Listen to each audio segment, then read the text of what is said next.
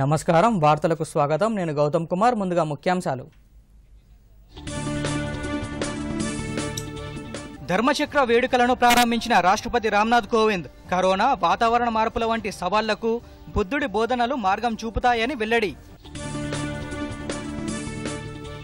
బుద్ధుని ప్రవచనాలతో అనుసంధానం కావాలని యువతకు ప్రధాని పిలుపు.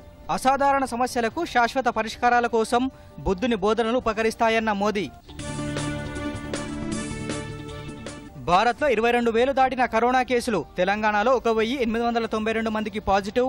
మరో రెండు వారాల్లో కరోనా వ్యాక్సిన్ హ్యూమన్ ట్రయల్స్ ఫలితాలు వస్తాయన్న ప్రపంచ ఆరోగ్య సంస్థ. రెండు వేల పదకొండు వరల్డ్ కప్ ఫైనల్ మ్యాచ్ ఫిక్సింగ్కు సంబంధించి ఎటువంటి ఆధారాలు లేవన్న శ్రీలంక విచారణను నిలిపివేస్తున్నట్లు ప్రకటించిన ప్రత్యేక దర్యాప్తు బృందం. ముంబై తానే రత్నగిరి జిల్లాలకు రెడ్ అలర్ట్ జారీ చేసిన వాతావరణ శాఖ. తెలంగాణలోనూ తేలికపాటి నుంచి ఓ మోస్తారు జల్లులు కురుస్తాయని వెల్లడి. ఇక వివరాలు. ఆషాఢ పూర్ణిమ సందర్భంగా బౌద్ధులు జరుపుకునే ధర్మచక్ర దినోత్సవాన్ని రాష్ట్రపతి రామ్నాథ్ కోవింద్ ఈరోజు ఢిల్లీలో లాంఛనంగా ప్రారంభించారు. కేంద్ర సాంస్కృతిక శాఖ సహకారంతో అంతర్జాతీయ బౌద్ధుల సమైక్య రాష్ట్రపతి భవన్లో నిర్వహిస్తున్న ఈ వేడుకల్లో కేంద్ర మంత్రులు ప్రహ్లాద్ పటేల్ కిరణ్ రిజిజు తదితరులు కూడా పాల్గొన్నారు. గౌతమ బుద్ధుడు జ్ఞానోదయం పొందాక వారణాసి సమీపంలో సార్నాథ్ వద్ద జింకల పార్కులో తన మొదటి ఐదుగురు శిష్యులకు ఇచ్చిన మొట్టమొదటి బోధనను పునస్కరించుకొని బౌద్ధులు ప్రపంచవ్యాప్తంగా ఈ రోజును ధర్మచక్ర దినోత్సవంగా జరుపుకుంటారు. ఈ రోజును turning of the wheel of the Dharma అని కూడా పిలుస్తారు. కోవిడ్ నైన్టీన్ నేపథ్యంలో అమల్లో ఉన్న నిబంధనల కారణంగా జరిగిన ఈ వేడుకలను ప్రపంచవ్యాప్తంగా సుమారు ముప్పై లక్షల మంది బౌద్ధులు వీడియో కాన్ఫరెన్స్ ద్వారా తిలకించారు. ఈ సందర్భంగా రాష్ట్రపతి మాట్లాడుతూ గౌతమ బుద్ధుని బోధనలకు చరిత్రలో ఒక ప్రత్యేక స్థానం ఉందని అన్నారు. బుద్ధుడు తన మొదటి బోధనలో చేసిన ప్రవచనాలు నిరంతర విలువలు కలిగి ఉన్నాయని తెలిపారు. మిత మార్గాలకు స్వస్తి పలికి మధ్య మార్గాన్ని అనుసరిస్తూ అభివృద్ధి పథంలో ముందుకు సాగాలని చెప్పిన బుద్ధుని బోధనలు నేటికి ఆచరించదగినవని రాష్ట్రపతి పేర్కొన్నారు. కోవిడ్ మహమ్మారిని ఎదుర్కోవడంలో బుద్ధుని బోధనలు ఆశాకిరణంగా భావిస్తూ పరిష్కారాలను అన్వేషించాలని సూచించారు. అలాగే వాతావరణ మార్పు వంటి పెను సవాళ్ళను ఎదుర్కొనేందుకు కూడా బుద్ధుని బోధనలు మార్గం చూపిస్తాయని అన్నారు. బుద్ధుడు ప్రవచించిన ఎనిమిది సూత్రాల మార్గాన్ని ప్రతి ఒక్కరూ అనుసరించాలని ప్రజలకు విజ్ఞప్తి చేశారు. The video message by the Prime Minister of India seen by all of us just now reflects the eternal values and positive approach of India.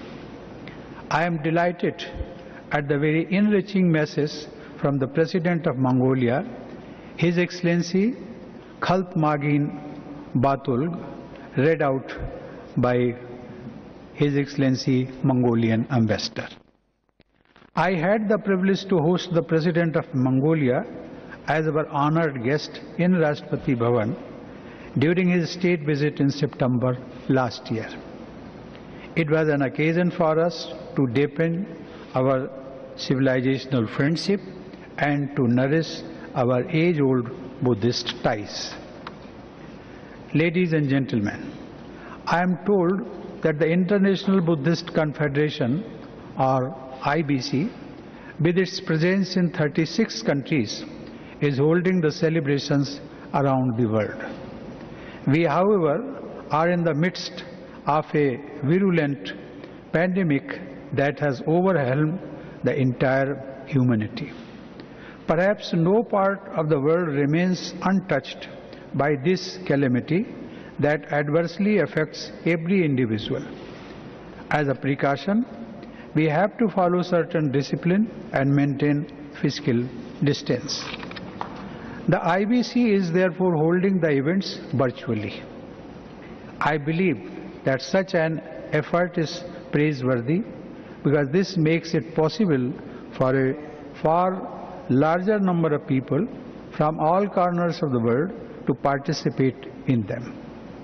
Ceremonies and prayers are being organized at the sacred sites in Sarnath and Bodh Gaya in India, Kandy in Sri Lanka, and Gandan Tekchig Ling Monastery in Mongolia.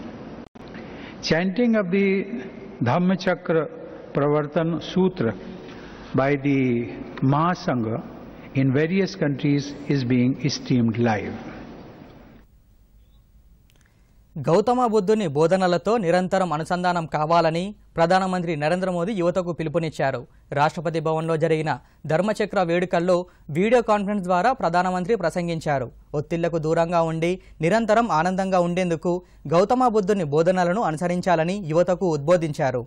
ప్రజలు ముఖ్యంగా పేదలు మహిళల పట్ల గౌరవం అహింస దయ క్షమాగుణం వంటి విలువలను బుద్ధుని ప్రవచనాల ద్వారా అలవర్చుకోవాలని ఆయన తెలిపారు. అంకుర పరిశ్రమల స్థాపన ద్వారా వినూత్న ఆలోచనలతో ప్రస్తుతం సమాజం ఎదుర్కొంటున్న సమస్యలకు పరిష్కారాలు కనుగొంటున్న యువత ఇరవై ఒక్క శతాబ్దానికి ఆశాకిరణమని ప్రధానమంత్రి అభివర్ణించారు. బుద్ధుని బోధనల ద్వారా ప్రపంచం ఎదుర్కొంటున్న అసాధారణ సమస్యలకు శాశ్వత పరిష్కారాలు కనుగొనవచ్చునని మోదీ తెలిపారు. దేశంలోని బౌద్ధ క్షేత్రాలను సందర్శించాలని ప్రధానమంత్రి ప్రజలకు విజ్ఞప్తి చేశారు. సార్నాథ్ బౌద్ధ క్షేత్రానికి అనుసంధానం పెంచేందుకు కుషీనగర్ విమానాశ్రయాన్ని అంతర్జాతీయ విమానాశ్రయంగా అభివృద్ధి చేస్తున్నట్లు ప్రధానమంత్రి తెలిపారు. Compassion and kindness. The teachings of Lord Buddha celebrate simplicity. Both in thought and action. Buddhism teaches respect, respect for people, respect for the poor, respect for women, respect for peace and non-violence. Therefore, the teachings of Buddhism are the means to a sustainable planet. Friends, in his very first sermon in Sarnath, and his teachings after that, Lord Buddha spoke on two things hope and purpose. He saw a strong link between them. From hope comes a spirit of purpose. For Lord Buddha, it was the removal of human suffering. We have to rise to the occasion and do whatever we can to increase hope among people. Friends, I'm very hopeful about the 21st century. This hope comes from my young friends, our youth. If you want to see a great example of, of how hope, innovation, and compassion can remove suffering, it is our startup sector led by our youth. Bright young minds are finding solutions to global problems. India has one of the largest startup ecosystems. I would urge my young friends to also stay connected ఉద్యోగాల భర్తీకి సంబంధించి railway శాఖ కీలక నిర్ణయం తీసుకుంది. భద్రతకు సంబంధించిన పోస్టులు మినహా కొత్త పోస్టుల భర్తీకి ప్రక్రియను నిలిపివేయనున్నట్లు ప్రకటించింది. తదుపరి ఆదేశాలు వచ్చేంత వరకు కొత్త నోటిఫికేషన్లు విడుదల చేయొద్దంటూ railway board joint director Ajay Jha అన్ని జోన్ల జనరల్ మేనేజర్లు ప్రొడక్షన్ యూనిట్లకు కీలక ఆదేశాలు జారీ చేశారు. అయితే ఈ ఆదేశాలపై గందరగోళం నెలకొనడంతో railway board director general Anand ఎస్కియాతి స్పందించారు.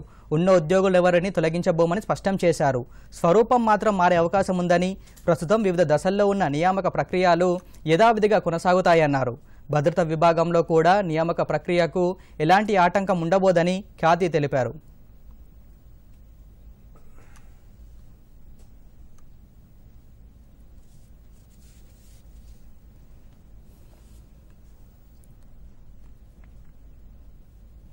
కోవిడ్ నైన్టీన్ నివారణ కోసం జరుగుతున్న ప్రయోగాల ఫలితాలు మరో రెండు వారాల్లో వస్తాయని ప్రపంచ ఆరోగ్య సంస్థ తెలిపింది. ప్రపంచవ్యాప్తంగా సుమారు ముప్పై తొమ్మిది దేశాల్లో ఐదు వేల ఐదు వందల మందిపై ప్రస్తుతం హ్యూమన్ ట్రయల్స్ కొనసాగుతున్నాయని ప్రపంచ ఆరోగ్య సంస్థ డైరెక్టర్ టెడ్రోస్ అథనామ్ తెలిపారు. ప్రస్తుతం remdesivir hydroxy chloroquine lopinavir interference కలిపి లిపినావిర్ ఔషధాలని మనుషులపై ప్రయోగించి పరిశీలిస్తున్నామని వీటి ఫలితాలు ఈ నెల ఇరవైవ తేదీ వరకు వస్తాయని అన్నారు. అయితే ఇప్పటి వరకు వివిధ వ్యాధులను నియంత్రించేందుకు వాడుతున్న మందులను మాత్రమే హ్యూమన్ ట్రయల్స్కు వినియోగించారు. ఇదిలా ఉండగా కరోనా నివారణకు వ్యాక్సిన్ ఎప్పటికి వస్తుందో ఇప్పుడే అంచనా వేయడం తెలివి తక్కువ పని అవుతుందని డబ్ల్యూహెచ్ఓ అత్యవసర కార్యక్రమాల విభాగాధిపతి మైక్ గ్రాన్ అభిప్రాయపడ్డారు. మనుషులపై వ్యాక్సిన్ ఎలాంటి ప్రభావం చూపుతుందో ఈ ఏడాది చివరికి తెలిసే అవకాశం ఉన్నప్పటికీ ఎప్పటి వరకు దాన్ని భారీ స్థాయిలో ఉత్పత్తి చేయగలగమన్నదే ఇప్పుడు ప్రశ్నార్థకరమన్నారు. ఇదిలా ఉండగా కరోనా వైరస్ మహమ్మారి గురించి తొలి హెచ్చరిక తామే చేసినట్లు ప్రపంచ ఆరోగ్య సంస్థ వెల్లడించింది. వుహాన్లో అల్లకలోలం సృష్టించిన ఆ వైరస్ గురించి తొలుత చైనా వెల్లడించలేదని ఆ దేశంలో ఉన్న తమ సంస్థ ఆఫీస్ నుంచి తొలి హెచ్చరిక వచ్చినట్లు ప్రపంచ ఆరోగ్య సంస్థ స్పష్టం చేసింది. వైరస్ నియంత్రణలో డబ్ల్యూహెచ్ఓ వైఫల్యమైనట్లు అగ్రరాజ్యం అమెరికా ఆరోపించడంపై ప్రపంచ ఆరోగ్య సంస్థ డైరెక్టర్ స్పందించారు. దేశవ్యాప్తంగా కరోనా కేసులు పెరుగుతూనే ఉన్నాయి. నిన్న ఒక్కరోజే ఇరవై రెండు వేల ఏడు వందల డెబ్బై ఒక్క మంది కరోనా బారిన పడ్డారు. దీంతో దేశంలో మొత్తం కరోనా కేసుల సంఖ్య ఆరు లక్షల నలభై ఎనిమిది వేల మూడు వందల పదిహేనుకు చేరింది. ఇప్పటి వరకు నమోదైన కేసుల్లో రెండు లక్షల ముప్పై ఐదు వేల నాలుగు వందల ముప్పై మూడు యాక్టివ్ కేసులుండగా మూడు లక్షల తొంభై నాలుగు వేల రెండు వందల ఇరవై ఏడు మంది కోలుకున్నారు. ఈ రోజు ఉదయం వరకు నాలుగు వందల నలభై రెండు మంది మరణించడంతో కరోనాతో మృతి చెందిన వారి సంఖ్య పద్దెనిమిది వేల ఆరు వందల యాభై ఐదుకు చేరిందని కేంద్ర ఆరోగ్య కుటుంబ సంక్షేమ శాఖ ప్రకటించింది. కాగా ఇటు రాష్ట్రంలో కూడా కరోనా కేసుల సంఖ్య ఒక్కసారిగా పెరిగిపోయింది. గడిచిన ఇరవై నాలుగు గంటల్లో ఐదు వేల తొమ్మిది వందల అరవై ఐదు శాంపుల్స్ను పరీక్షించగా అనూహ్యంగా ఒక వెయ్యి ఎనిమిది వందల తొంభై రెండు మందికి పాజిటివ్ ఉన్నట్లుగా నిర్ధారణ అయింది. ఇందులో అత్యధికంగా జీహెచ్ఎంసీలో ఒక వెయ్యి ఆరు వందల యాభై ఎనిమిది కేసులు నమోదయ్యాయి. దీంతో రాష్ట్రంలో మొత్తం కేసుల సంఖ్య ఇరవై వేల నాలుగు వందల అరవై రెండుకు చేరుకుంది. ప్రస్తుతం తొమ్మిది వేల తొమ్మిది వందల ఎనభై నాలుగు మంది చికిత్స పొందుతున్నారు. పదకొండు వేల మంది వైరస్ నుంచి కోలుకొని డిశ్చార్జ్ అయ్యారు. గడిచిన ఇరవై నాలుగు గంటల్లో కరోనా వైరస్ వల్ల ఎనిమిది మంది మృతి చెందారు. దీంతో మొత్తం మృతుల సంఖ్య రెండు వందల ఎనభై మూడుకు పెరిగింది. రాష్ట్రంలో ఇప్పటి వరకు లక్షా నాలుగు వేల నూట పద్దెనిమిది నమూనాలను పరీక్షించారు.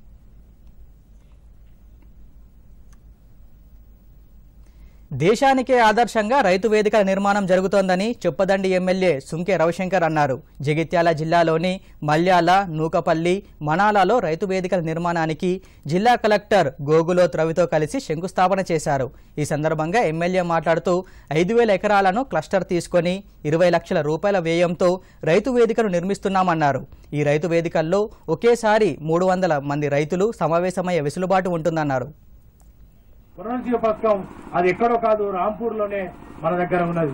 అంటే ఎటు చూసినా ఎటు చూసినా నీళ్ళే కనబడుతున్నాయి. గతంలో రైతుల కళ్ళల కన్నీళ్ళు చూసేటువంటి పరిస్థితి ఉండే. కానీ నేడు రైతుల కళ్ళల్లో ఆనందాన్ని చూస్తా ఉన్నాం. ఎందుకు గతంలో రైతుల కళ్ళీళ్ళు ఉండే? బోర్లేసి వెయ్యి ఫీట్ల బోర్లేసినా కూడా చుక్క నీరు రానేటువంటి పరిస్థితి ఉండే. కానీ ఇవాళ వంద ఫీట్ల లోపే బ్రహ్మాండమైన భూగర్భ జలాలు పెరిగి బ్రహ్మాండంగా నీళ్ళు వస్తా ఉన్నాయి. ఇలా ప్రతి ఒక్కరికి సంఘ భవనాలు ఉంటాయి. వాళ్ళందరూ కూర్చోగలిగి మాట్లాడుకోగలిగడానికి ఒక సంఘ భవనాలు ఉంటాయి. కానీ రైతుకు ఈ దేశంలో ఎక్కడా కూడా ఒక సంఘ భవనం లేదు. కూర్చుండే వేదిక లేదు కనుక గౌరవ ముఖ్యమంత్రి గారు ఇలా ఇరవై సుమారుగా ఇరవై నుంచి ఇరవై నాలుగు లక్షల రూపాయలతో మరి ఒక దిక్కు అగ్రికల్చర్ డిపార్ట్మెంట్ ఒక దిక్కు నరేగా ఈజీఎస్ నిధులతో ఇవాళ ఈ రైతు వేదికలను నిర్మాణం చేసుకో చేసుకోబోతా ఉన్నాం. మరి ఈ నిర్మాణం జరిగిన తర్వాత దానిలో అగ్రికల్చర్ ఎక్స్టెన్షన్ ఆఫీసర్ ఒక ఆఫీసర్ రెగ్యులర్గా ఆఫీస్కి వస్తాడు రైతులతో మాట్లాడతారు. స్వయంగా ఈ రైతు వేదికకు ముఖ్యమంత్రి గారే ఫోన్ చేయవచ్చు. నేనే ఫోన్ చేయవచ్చు. రెండు వేల పదకొండు వన్డే ప్రపంచ కప్ ఫైనల్లో మ్యాచ్ ఫిక్సింగ్ జరిగిందంటూ శ్రీలంక క్రీడల శాఖ మాజీ మంత్రి చేసిన ఆరోపణలకు ఆధారాలు లేవని శ్రీలంక ప్రభుత్వం స్పష్టం చేసింది. మంత్రి ఆరోపణలతో ప్రత్యేక దర్యాప్తు బృందం ఏర్పాటు చేసిన శ్రీలంక ప్రభుత్వం ఆ మ్యాచ్కు శ్రీలంక కెప్టెన్గా ఉన్న కుమార సంగాకర జట్టు సభ్యులు మహేలా జయవర్ధనే ఉప్పుల్ తరంగాలతో పాటు అప్పటి సెలక్షన్ కమిటీ చైర్మన్ అరవింద డిస్మిలాలను విచారించి వారి వాంగ్మూలాలను రికార్డు చేసింది. ఈ కేసులో ఆరోపణలకు సంబంధించి ఎలాంటి ఆధారాలు లభించే అవకాశం లేదని ప్రత్యేక దర్యాప్తు బృందం తేల్చి చెప్పడంతో ప్రభుత్వం కూడా విచారణను నిలిపివేయనుంది. రైతులంతా ఆర్థికంగా నిలదొక్కుకోవాలన్నదే రాష్ట్ర ప్రభుత్వ ధ్యేయమని రాష్ట్ర వ్యవసాయ శాఖ మంత్రి సింగిరెడ్డి నిరంజన్ రెడ్డి అన్నారు. వనపర్తి జిల్లా దేవరకర్ద నియోజకవర్గంలోని కొత్తకోట మండల గ్రామంలో రైతు వేదిక నిర్మాణానికి మంత్రి మరియు స్థానిక ఎమ్మెల్యేతో కలిసి ఆలా వెంకటేశ్వరరెడ్డితో భూమి పూజ చేశారు.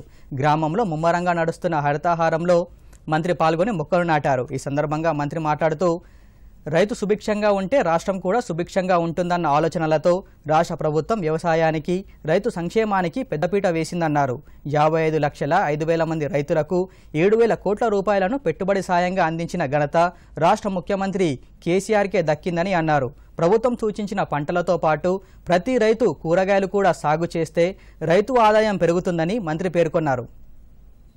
తాత్వికత సిద్ధాంతం ఏంటి అంటే ఇంతకాలం శ్రమ చేసి పంట పండించి ఆరుగాలం కష్టపడి సంపద సృష్టించి పది మందికి అన్నం పెట్టేటువంటి రైతు. ఎప్పుడు కూడా ఆ చేసిన కష్టంతోన తన చేయితోన ఇట్లా ఒకరికి అన్నం పెట్టిండే రైతు దేశం జైపూర్ అంతర్జాతీయ విమానాశ్రయంలో ఈ ఉదయం పద్నాలుగు మంది భారతీయ ప్రయాణికులు అక్రమంగా తీసుకొస్తున్న సుమారు ముప్పై రెండు కిలోల బంగారాన్ని జోధ్పూర్ కస్టమ్స్ అధికారులు స్వాధీనం చేసుకున్నారు. దీని విలువ సుమారు పదిహేను కోట్ల అరవై ఏడు లక్షల రూపాయలని అధికారులు తెలిపారు. United Arab Emirates Saudi Arabia నుంచి వీరు ప్రత్యేక విమానాల్లో జైపూర్ చేరుకున్నారని జోధ్పూర్ కస్టమ్స్ కమిషనర్ తెలిపారు.